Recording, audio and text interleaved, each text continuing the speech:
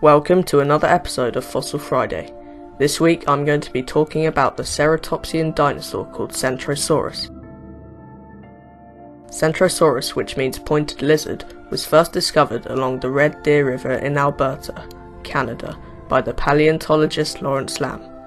After its initial discovery, huge amounts of fossils of the animal were found in Dinosaur Provincial Park, which is also in Alberta.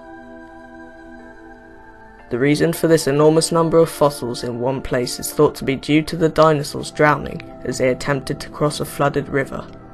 This discovery also indicates that Centrosaurus was a gregarious animal and probably travelled in large herds.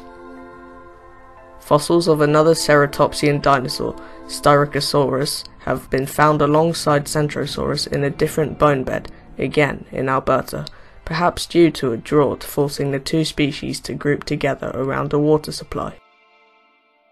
At around 6 meters long, Centrosaurus was not a huge dinosaur, however, its frill is very interesting, with two small hornlets that curve over it on the top and more hornlets that project distally around the edges.